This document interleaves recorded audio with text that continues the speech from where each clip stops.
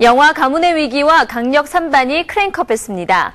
신현준, 김원희 등이 출연하는 가문의 위기는 지난 2002년 히트작 가문의 영광의 속편으로 혈통 개선을 위해 엘리트 검사 며느리를 맡는 조폭 가문의 이야기를 그린 코믹물입니다.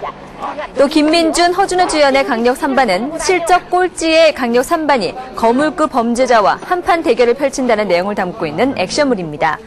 가문의 위기와 강력 3반은 후반 작업을 거쳐 오는 9월 개봉할 예정입니다.